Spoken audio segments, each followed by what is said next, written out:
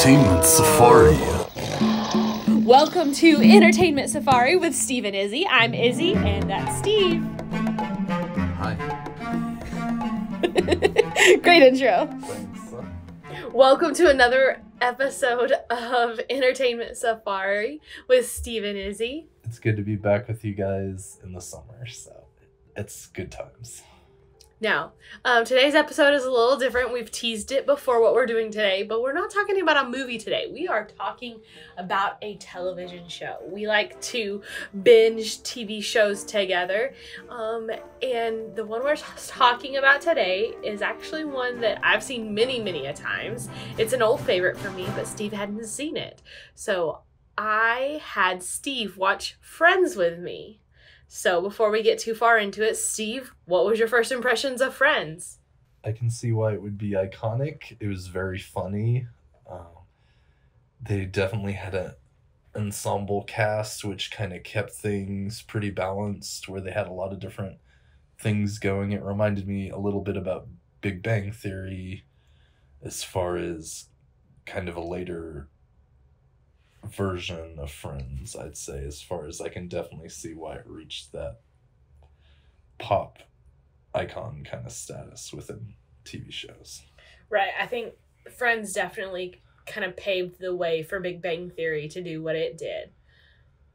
Yeah, just the level of interactivity within the shows, the odd, quirky storylines, the kind of following the lives of these single people living in an interesting location, which normally you wouldn't get to be privy to. I think it definitely was a pioneer for several really good shows that followed it. So, um, on today's episode, we're going to talk about a few of our favorite episodes. It ran for 10 years, so obviously we can't um, talk about them all, but we've got a few of our favorite episodes to talk about, and then um, we've got some trivia questions for each other. See um, if my uh, experience watching the show. Uh, many times through uh, will hold true and see how well Steve remembers it, or if I need to uh, make him watch it again. Yeah, see how much I slept through the first time. No, I'm kidding. I didn't sleep through any of it. It was wonderful. You really, um, I was worried at first, but you really caught on, um, and you really seemed to enjoy it. It was a lot of fun. It really was. Okay, Steve, let's start by talking about um, what you found to be some of your favorite episodes. Um, obviously, you've just watched it one time through, so two could change. Um, but what what's what are your favorites? Well, I think you can't start talking about Friends episodes without talking about a Thanksgiving episode. I feel like there's so many really good Thanksgiving episodes which kind of draw your attention and uh, just give you the good vibes that come at that time of year where sometimes things just don't go according to plan as much as some planners like Monica really want them to just go smoothly and everything to be exactly how it should be, but then everybody else kind of comes in with their own agendas and how they want things to go. So I think for the first of my favorite episodes would definitely be a Thanksgiving episode in season eight, the one with the rumor. Um, it, for those of you not familiar with it, I'm sure a lot of people are at least familiar with it if they're friends, affectionates, aficionados. Um, uh, the one with Brad Pitt, where he has the I Hate Rachel fan club, and you know, just just something about the fact that you have kind of that comedy and that play within kind of the celebrity and also just with the existing characters. I think it's a kind of interesting dynamic for sure. You were definitely looking forward to that episode for a long, long time. Um, Yeah, that was the one I'd actually seen before. Like I'd never done a straight binge of it, but if you, growing up in the 90s, you would occasionally see Friends on and I remember seeing that one and I was like there's definitely something to that. So I was definitely excited to get to that episode, and it definitely held up as far as comedic value over the years with the yams and the. But you've done so good with you know. For Brad sure. Pitt calling for the yams. So For sure. But let me tell you, uh, for those of you that are listening in on this podcast today, if there was a Thanksgiving episode, Steve was laughing. Let me just tell you, though nothing got him harder than those Thanksgiving episodes. So I'm glad at least one made your top listing of episodes. oh, for sure. How about you? Is there one? Ob- you can do a Thanksgiving or maybe a Christmas episode, or is there another one that's not either one that kind of stood out to you?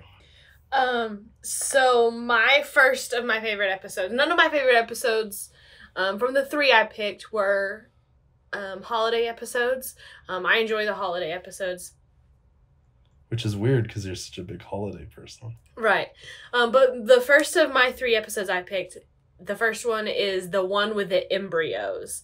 Um, and so obviously this is when um, Phoebe um, is talking to the embryos and and um, does her things to be um, a surrogate. Um, but this is when the rest of the friends are playing the game to switch apartments. Um, and Ross is coordinating um the the game the trivia game that he made up and obviously it's it's monica and rachel against um chandler and joey and just the dynamics there all the trivia and just how worked up and excited they got um it's one of my favorites Yeah, she totally stole my number two one. that was definitely like it's okay. I have other ones I can adapt, but that episode was definitely a lot of fun just because you got to see the guy versus girl humor where you got to see the different motivations even between the sexes where it was very relatable where it's like oh well we want it for this and the gals are like no we want it for that. So it was very cute. And to see who knew each other best and some of the some of the things that you get to hear about the characters in that episode is always really fun. Yeah, and you think you know how it's gonna go, and then they throw some crazy loop in, and you're like, "I'm sorry, what just happened?"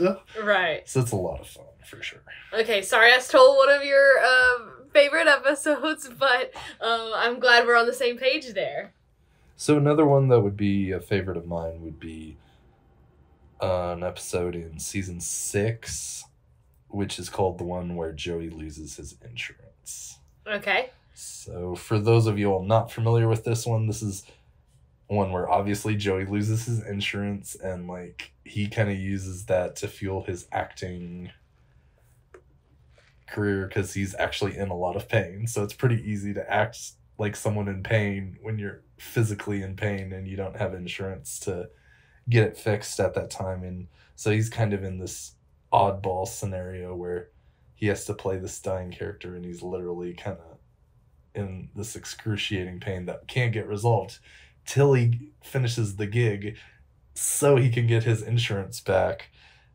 And on top of that, you get a delightful episode with Ross where, once again, you know, kind of a weird scenario where Ross decides he wants to adopt a British accent for his classroom. So you get to see him adopt a British accent, and it's very hilarious. And you gotta see kind of the play in with. Obviously, some people know he does not always talk with a British accent, so then he's having to kind of balance that. So it's very funny. Nice, nice. Um, my second episode is um from season five, and I know you're gonna be very surprised, but season five is among the top of my it, it's peak friends for me. Um, season five is. I love the whole run, but season five is definitely um my favorite run of the show. And so my second two favorite episodes are actually both from season five. The first one is from the beginning of the season, um, and it's the one with all the kissing. Um, surprise, surprise. um, this is where Izzy likes romance. No, really. Yeah. Um, so this is after they get back from London. So Ross is distraught um, because, well, it's his own doing. Um, but Ross is distraught. But here's where Chandler and Monica um, are starting their relationship and they're keeping it secret. Um, and so the just the shenanigans they go through, we get to see their relationship, but we also get to see they make some choices and the shenanigans that ensue are, are pretty funny. What's probably one of the funniest moments for you within that episode as far as the ridiculousness that they get into? Oh, the bathtub scene. Yeah. Uh huh. Where they're taking a bath and how they're both fitting in the bath, like that's a separate point entirely. Um, but Joey comes in, um, and so Monica hides, and then Joey leaves, and Chandler's like, "Sorry, I couldn't get him to leave," um, and she's like, "What did he want?" He's like, "He he wanted to know if I wanted chicken," and Monica goes, "I could go for some chicken." So I mean, it's something. It's funny that you know everybody can relate to wanting chicken, um, but it's funny it, it always got me too that then he leaves and Chandler says, "Yeah, a two piece um, chicken. Who just orders two pieces of chicken? Like even if it's just for yourself. Like girls, okay, maybe I can understand, but Chandler, order some more chicken, especially if you're gonna be sharing." True story. I mean, you gotta eat, and if someone's gonna bring you fried chicken, you definitely gotta take advantage of that because that doesn't come around every day. Maybe it's two really big pieces of chicken. I don't know. I've always wondered that though. Okay. Okay, so for my last one, there are definitely a few that would get honorable mentions. I'd go. There's one I don't know what the episode is. It's called Chandler's Bath. Like Where Chandler the- takes a bath. yeah, um, uh, that one was hilarious. That's an honorable mention. The one where Ross got high, the one with the ski trip, which is in season three, and the one with Rachel's dream in season nine. But I'd say, but I'd say the one that stood out to me and would probably be my third one would be the one with all the football, which is season three. Another football, another Thanksgiving episode. Another Thanksgiving episode. The Thanksgiving ones really got me on that one, on this run of Friends. So I really enjoyed it. Just once again, the comedy between sports. There's always, if you've ever played sports, whether it was professionally or high school or college, there's definitely, or even just a pickup game, there's definitely a level. There's varying levels of skills and like once again motivations as to why they're there. So i think that definitely played out and it's hilarious when you see adults being kind of ornery and being like well i want to do this. Can i do this? So it was just very fun Very nice. Okay, before I get to my last episode, I'll give it an honorable mention here, and it's one that almost made um my list, but I just I can't do it just yet. Um, the one with Ross's tan, hilarious. that was a funny episode Um, that's that's Ross is at his prime there when Ross tries to get a tan. But my third favorite episode here that I'm going with this on this on this list is actually a two-parter. Um, so it's the one um, in Vegas. Um, and there's part one and part two, so it actually aired separately. Um, but I think on the DVD, it's it's one episode. Um, for if you have the whole series on DVD, but it's the one in Vegas.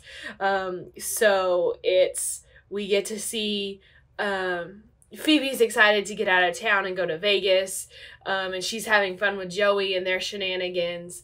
Um, Monica and Ray- Monica and Chandler are um, debating getting married, and you know they're going through some stuff, and then.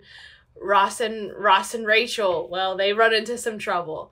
Um, and so just like the duos all I think have their own things going on here, but it works really well for this episode and it really moves the the story along a line story line along. Um, and so I, I really appreciated this episode. yeah i can see that just there are definitely those key transition episodes which kind of move the ball forward whether it's a scene in a story or it's like you said, the two episodes within the the season, they definitely take a big step forward as far as these characters' journeys. This is at the end of season five. The one with the kissing is at the beginning. So I kind of have like I have the beginning and end of season five there. Yeah, I- mean, I can see that why you'd enjoy that because you get it's almost like the bridge between the first half of Friends and the second half of Friends. Right. So with that in mind, Steve, what was kind of your favorite season or era of Friends? It's tough because looking at my list, a lot of the episodes are in later seasons from probably four to eight. Um, but that said, I can honestly say I wasn't sold on Friends season one, but season two is the one that kind of got me. They had a bunch of celebrity guests, whether it was Julia Roberts, Tom Selleck. So I think that's I, I'd have to go season two just because of the sheer amount of celebrity guests you got. Aw. So would you go season five? I would. Um, I mean, I love it all. I think for any show that you can watch multiple times, multiple times a year, um, you've got to love the entire run, and I do. But I think season five is my favorite. Who would you say of the Friends characters is the strongest in season five? Monica and Chandler. Yeah, I can see that. That it's definitely the prime of their arc. So right. sure. Right. So And it's would you say it's the most romantic of the Friends seasons as far as concerning the main characters? yeah, for sure. I know a lot of people who are Team Ross and Rachel, and it's not like I'm not. I just think overall, Monica and Chandler have the better overall story. Yeah, it's definitely more of a back and forth with Ross and Rachel where they have their good times and they have their pretty low times. Right. Okay. So before we get into some trivia, do you want to give Friends a hot tamale ranking? That's dangerous ground because is, is this the first TV show we've actually given it? It is. It is. Okay. Um it's so tough with a show like Friends cuz there's so many seasons to kind of contend with. So there's one where you're like, "Oh, that was great." And then another one where you're like, "It's still good, but was it as that high of your favorite season?" Um yeah, I think I know what I'd give it. Okay. Are you ready? Yes. Ready? Go. And it's out of 10 or a 5? We've done everything else out of five. Okay, then I'd have to give it a 4. Okay. Solid. Respectable. Yeah, like I, I feel like it's in that middle ground for me right now because I don't have the nostalgia of watching it multiple times. But I think it's definitely one that I enjoyed and would enjoy again. I think the replay value of it's really high. So I'd give it a solid 4. I, I'm guessing you're going to give it a 5? No, I'm gonna go four point five. Okay. So Um, middle ground there. Yeah, four point five out of five hot tamales. Um, for friends for me, I do have the nostalgia. Um, it's a show like I said I can watch anytime if it's on TV and I just catch reruns, or if I need a show to binge, it is a show. Um, like you said, there are some moments that are a little slower to get through, so it's not a perfect um, show. Um, but four point five out of five hot tamales for me. All right, Steve, are you ready to play some friends trivia? Probably not, but I'm gonna give it the best shot I can. Okay, do we want to go like five and five or go one and one? I think we go five and five. So Okay. you know, do you want to go first or second? Um, I'll ask you the questions first. Okay. Um, so Okay. okay, are you ready? Yes. Question one. What is the Joey special? The Joey special. It's a food. It's a food. It is a. I know it's some kind of sandwich. Joey's favorite food is a sandwich. Uh huh. But the, the Joey special is something different.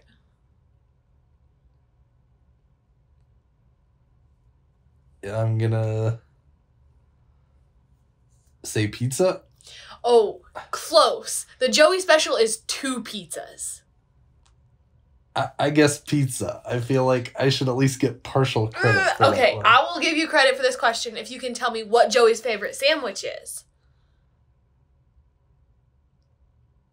I don't know that one. I guess pizza. I feel like I'm not. I'm not sure what the sandwich is called. A meatball sub. See, I knew it was. It, it, was a very common sandwich. I should have gotten that. So you can take away my points if you want. Okay, okay. But but, but I did get. For the record, I did get pizza. So if it comes to a tiebreaker, which Mm. it, which it totally Uh, could. uh, okay, question two. What's Chandler's middle name? I knew you were gonna ask this one, and I did not Google it because. Cause, cause I didn't care, honestly. um, Meredith. Close. Muriel. Uh, okay, I'm sorry. Question three. What does Phoebe legally change her name to after her wedding? That's ridiculous. I can remember what Bananarama. So close. You're on the right track. Um, do you have a Do you have another guess? No, that's it. Ugh, Princess Consuela Banana Hammock. So close. Can you? Uh, I- I've got a bonus question for Phoebe too here. Um, can you tell me Phoebe's alter ego name? She has an alter ego. Yeah, like when she she and Joey are talking about giving out fake names. Um, and this is her fake name that she gives out if she doesn't want to tell somebody her real name. I'm just doing terrible at this. Regina Phalange. Oh yes, of course. Look around. Okay, well, you're you're not doing so well. Question 4. I still hold I should get pizza. Question 4. Who was Monica's first kiss? Is this multiple choice? It's one of the friends. Yeah. Yeah. I'm gonna. It was Chandler. Close. She thought it was, but it was really Ross. Oh, that's right. hmm This show. This show. So she accident her first kiss was accidentally her brother. Okay, question five. How many pages was on Rachel's letter to Ross? 18. I'll give you credit. 18 pages, front and back. See, you're so hard on me. I guess I feel like I should at least get two of these. I guess pizza. I'll give you Pizza can be plural. one and a half points. Okay. Well, I'll go back and show you the clip from, or we'll watch the episode where Joey says the Joey special. But I'll give you one and a half points. Okay. Question one. What is the name of Phoebe's very enthusiastic date, played by Alec Baldwin? I'm drawing a blank. I know how you feel. um, this is wrong, but I'm gonna guess Alex. No, it is Parker. Mm, Parker. yeah. Okay, this is the easy one. I'd be very surprised if you don't get this one. No. Uh, which book did Joey agree to read if Rachel read The Shining? Little Women. Yes. Season six. What did Monica give Chandler for Christmas? Season six would have been, um, when they were planning the wedding, or yeah, it would have been either right before they got engaged or when they were planning the wedding. Um, she gave him a mixtape. She did not. She gave him a water purifier. Mm. Wow. That was a tough one. That was a tough one. Which actor's haircut does Monica want when she asks Phoebe to cut her hair? Oh, I know this. I know this. Um I can see her. I know, right? Demi Moore. That is correct. Yeah. Good job. Doing a little happy dance here. Uh huh. I feel like I was a lot easier on you than you were on me with the with the questions. I've seen a lot of Friends. What is Rachel's full name? Rachel Karen Green. It is. Is that a, is that the fifth question? That's the fifth question. How many points did I get? You got three. Yeah, I'm a little disappointed I didn't do a clean sweep, but that's okay. Good job, baby. All right, ladies and gentlemen, that about wraps it up for this episode of Entertainment Safari. We hope you've um, enjoyed this um, episode here on a different, on something other than a movie here. Um, if you haven't seen Friends, it's a show that I'd recommend to a lot of people. Um, it, while it did come out in the 90s, like Steve said, it holds true today and it's still very relatable. There's not too many um, outdated references or anything like that. Any final thoughts, Steve? Uh, yeah. I mean, I think if you just wanted a good kind of sitcom, kind of precursor to some of the ones that you probably have already seen, um, like How I Met Your Mother or Big Bang Theory, or some of the ones like that. I think if you enjoyed those, you'll definitely enjoy Friends. This is definitely not new content for you out there, but uh, we hope you enjoyed this episode where we uh, uh, did something a little different, had some fun with it, played a little game. So, uh, our next episode, uh, we're talking about uh, Obi Wan, uh, the new series on Disney Plus, and playing some Star Wars trivia. So, I'm sure Steve will get me back there. I hope so. That was a rough go. So, we'll see you next time on Entertainment Safari. Take care.